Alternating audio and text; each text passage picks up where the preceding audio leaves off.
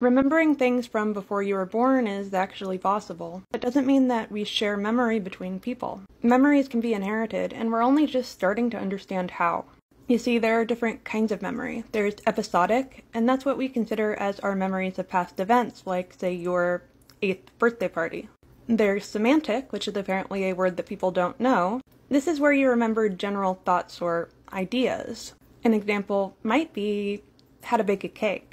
And then we have procedural memory, and this is the kind of thing that can be inherited. This is why children raised in total isolation can still learn how to walk. It's in your genetics. We as humanity recently found out that fearful memories can be inherited. Mice who have been shocked in the presence of, say, the smell of lavender will continue to be fearful of lavender even if they've never been exposed to it or the original great grandparent that was shocked. And we know that your experiences can haunt your descendants. We've seen people who have been exposed to extremely stressful situations have offspring or grandchildren who are more likely to have anxiety or other psychiatric problems. If your grandparents suffered from starvation, you're more likely to be overweight or have diabetes. Turns out the answer to how is epigenetics. Or for this one, how RNA interacts with the way that your genes can be expressed.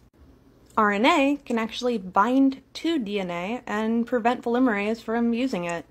What I do wonder, and I really badly want an answer to, is how the person that you get tissue from to make a brain to operate a robot influences its behavior.